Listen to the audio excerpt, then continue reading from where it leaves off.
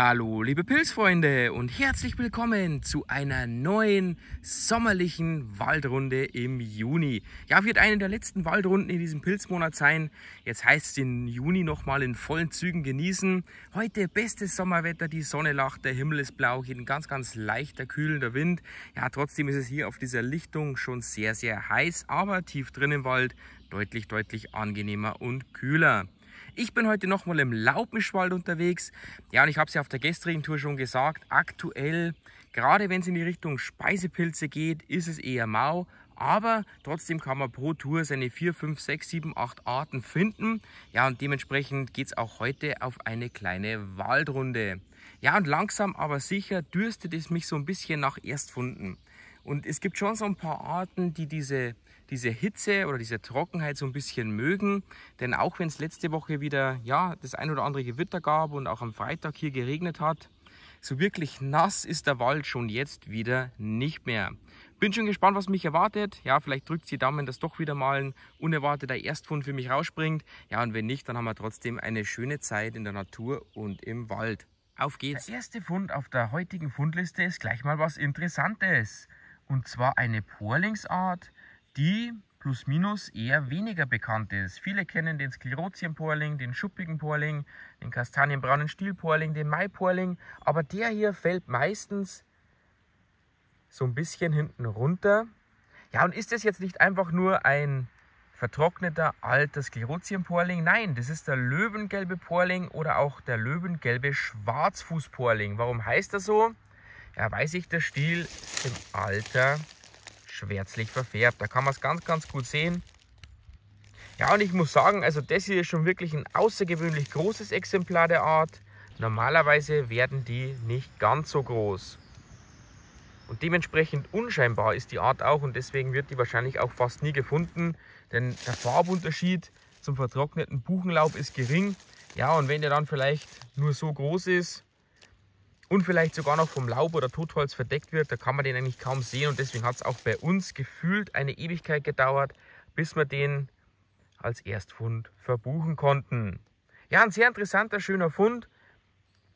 Und wer mehr über die Art wissen möchte, wir haben vor kurzem erst das Pilzporträt zur Art veröffentlicht.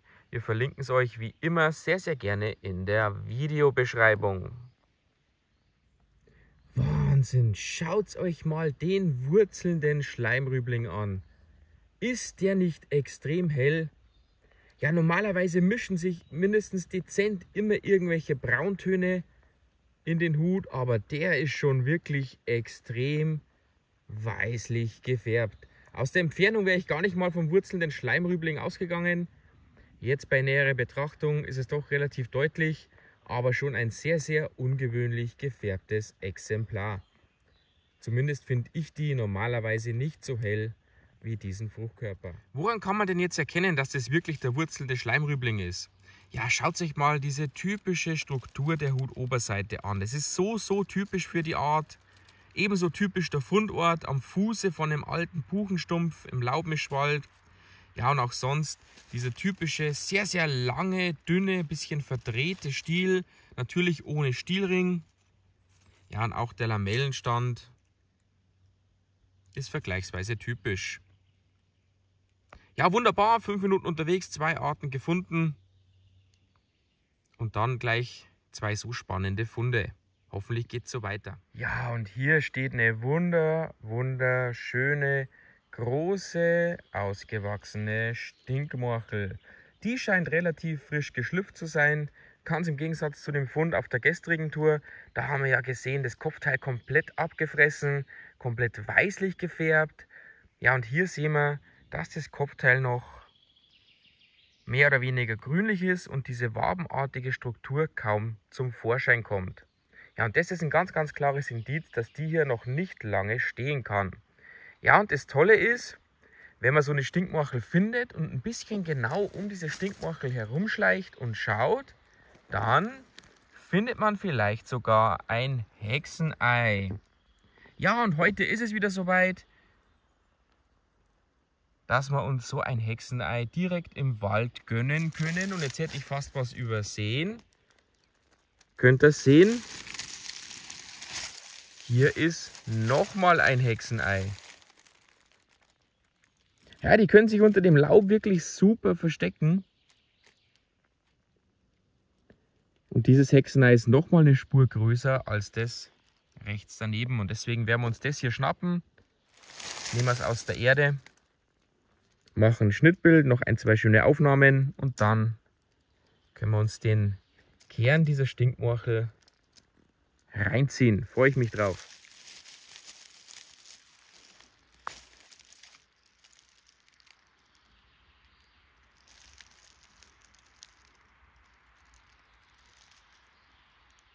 Ja, und hier jetzt das versprochene Schnittbild nochmal von dem Hexenei. So ein toller, faszinierender Anblick. Ja, und wir können die Schichten gerne nochmal durchgehen. Außen befindet sich so eine weißliche, raue, schützende Haut. Darunter so eine glibbrige, galertartige Masse. Ja, und was ich bisher, glaube ich, nur in dem Pilzporträt zur Art erwähnt habe, diese glibbrige Masse ist extrem feuchtigkeitsbindend. Ja, und wenn er die auf die Haut gibt, dann bekommt er nicht nur eine ganz, ganz weiche Haut, sondern ja, das kühlt auch immer so ein bisschen. Und wenn man jetzt einen Insektenstich dabei hat und nichts zum Kühlen, ja, und das äh, in Anführungszeichen wie die Sau juckt, dann kann man dieses Hexenei benutzen, diese glibbrige Masse, und so ein bisschen auf diesen Stich tun und das kühlt dann und kann den Juckreiz dann so ein bisschen mindern. Nach dieser galertartigen Masse kommt so eine ja, braun-grünliche Schicht und das wird später mal das Kopfteil der Stinkmorchel. Ja, und dieser weiße Kern, das wird mal der Stiel. Und genau dieser weiße Kern ist das, auf was ich es abgesehen habe. Den kann man nämlich rausschneiden und dann direkt pur im Wald genießen. Hat einen sehr, sehr angenehmen, würzigen Rettichgeschmack. Ja, und soll auch sehr, sehr gesund sein. Ja, und auf diesem Stück Totholz klappt es jetzt endlich wieder mal mit Blutmilchpilzen. Ja, und wieder haben wir das Glück, dass wir den in verschiedenen Altersstufen vorfinden. Hier die dunklen Fruchtkörper, die alten Fruchtkörper und hier die bunt gefärbten Fruchtkörper, das sind die jungen. Warum heißen die Blutmilchpilze? Ja, wenn man die zerdrückt, dann sehen wir, dass die eine blutähnliche Flüssigkeit in den Fruchtkörpern haben. Ja, und deswegen eben Blutmilchpilze. Ja, und sind natürlich wie alle Schleimpilze keine Speisepilze. Ja, und siehe da, hier auf der Schattenseite hat es jetzt doch auch mal endlich wieder einen jungen Frauentäubling. Ja, hoffen wir mal, dass der vielleicht sogar noch was für den Speisepilzkorb ist, denn ich habe vom Freitag noch die blassen Pfifferlinge im Kühlschrank. Ja, und heute Abend gibt es Rinderfilet und da als Topping Frauentäubling und blasser Pfifferling ist, denke ich, nicht die schlechteste Idee. Schauen wir mal, wie der Frauentäubling von der Hutunterseite aussieht.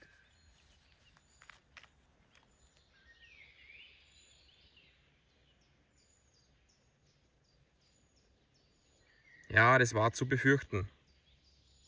Ja, und hier sieht man auch schon, wie es überall krabbelt. Schade, schade. Also von oben und auch von der Konsistenz vom Stiel her hat er gar keinen so schlechten Eindruck gemacht aber in dem Zustand natürlich leider nichts für den Speisepilzkorb. Schade Marmelade. Ja, ich habe insgeheim vielleicht so ein bisschen drauf gehofft, dass nach den zwei Gewittern und dem Regen letzte Woche vielleicht die Lungenseitlinge wieder Lust haben zu wachsen, aber alle kontrollierten Stellen waren leider komplett verwaist. Dafür haben wir hier jetzt aber den typischen Verwechslungspartner gefunden oder einen der typischen Verwechslungspartner, nämlich den Laubholzknäuling. Ja, und bei uns in der Facebook-Gruppe zum Thema Pilze gab es erst letzte Woche wieder den Fall, dass jemand den Laubholzknäuling gepostet hat und gefragt hat, ob das Lungenseitlinge oder Austernseitlinge sein könnten. Woran kann man es denn normalerweise erkennen, dass das keine Austernseitlinge und keine Lungenseitlinge sein können? Ja, vor allem an der Farbe. Hier auf der Hutoberseite kann man schon diesen typischen Violettstich so ein bisschen sehen. Wenn ich das Ganze umdrehe, dann sehen wir das vor allem am Hutrand nochmal viel, viel deutlicher. Ja, und das sieht so wunderschön aus. Und ist ein richtiges Charakteristikum vom Laubholzknäuling. Austernseitlinge oder auch Lungenseitlinge werden nie so violettstichig gefärbt wie hier zum Beispiel am Hutrand sehr gut zu sehen. Ja, ich mache noch die ein oder andere Detailaufnahme und dann geht es auch schon weiter. Und vielleicht haben wir doch noch das Glück, dass wir so einen kleinen Ast mit Lungenzeitlingen finden. Ja, und da haben wir die erhoffte Überraschung. Schon ganz, ganz lange nicht mehr vor der Kamera gehabt. Eine Art aus der Gattung der Knollenblätterpilze. Wer kann sie erkennen? Ich verrate es euch mal noch nicht. Ich nehme sie erstmal raus und dann schauen wir sie uns in Ruhe im Detail an.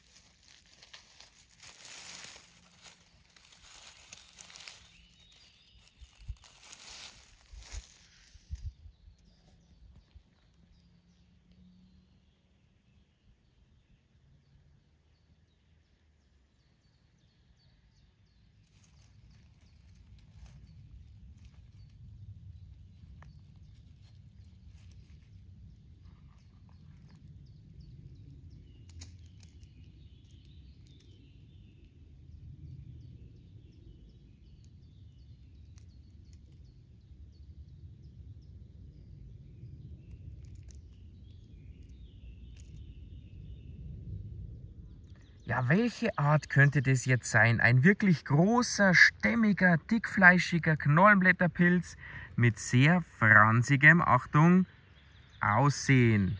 Klingelt's beim Thema franziges Aussehen und Knollenblätterpilz? Ja, es ist natürlich der franzige Wulstling. Den hat man hier in dem Habitat, es muss ungefähr 2018 oder vielleicht auch 2019 gewesen sein, als Erstfund fast genau an gleicher Stelle. Zwischen den Stellen liegen vielleicht Luftlinie 30 Meter. Ja, und da war es auch, glaube ich, Ende Juni oder Anfang Juli. Passt also perfekt. Ja, und wir haben das große, große Glück, zwei wirklich wunderschöne Exemplare der Art gefunden zu haben. Und das ist genau das, was ich meine. Egal wie vergleichsweise pilzarm es aktuell aussieht, es ist immer eine wunder, wunderbare, tolle Überraschung möglich. Ja, und über den Fund freue ich mich, glaube ich, dieses Wochenende mit Abstand am aller, allermeisten. Gibt es eine ähnliche Art? Ja, es gibt sogar eine sehr, sehr ähnliche Art und zwar ist es der Eierwulstling. Der ist aber nochmal viel, viel, viel, viel seltener als der franzige Wulstling. Ja, und der, das einfachste Unterscheidungsmerkmal wäre die Stielbasis. Da hätte nämlich der Eierwulstling hier eine Scheide und die hat der franzige Wulstling nie.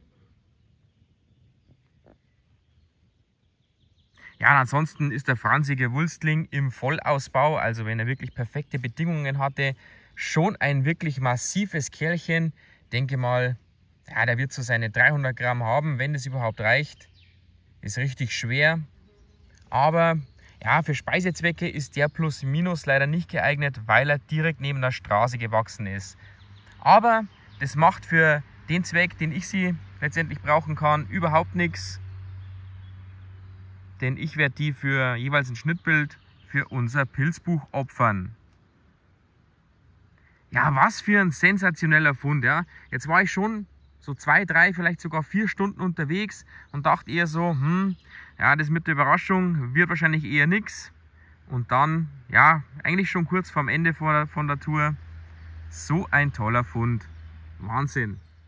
Ja, sonst gab es leider keine Funde jetzt mehr, aber dieser franzige Wulstling zum Schluss, ja, ob das wirklich nur das Highlight des Wochenendes oder nicht sogar der kompletten zweiten Junihälfte war, ich glaube eher schon. Was für ein toller Fund, gelingt einem nicht jedes Jahr und umso größer ist da natürlich die Freude. Gab aber nicht nur die Pilze, die ich euch schon gezeigt habe, sondern auch ein, zwei Tierbegegnungen. Die hänge ich euch jetzt ans Video noch dran. Und ansonsten wünsche ich euch einen guten Start in die neue Woche. Ja, genießt die letzten Junitage. Der Juli steht ja schon vor der Türe. Und dann geht es am nächsten Wochenende im Juli nahtlos weiter. Habt eine tolle Zeit und dann sehen wir uns schon bald auf der nächsten Waldrunde oder im nächsten Pilzporträt.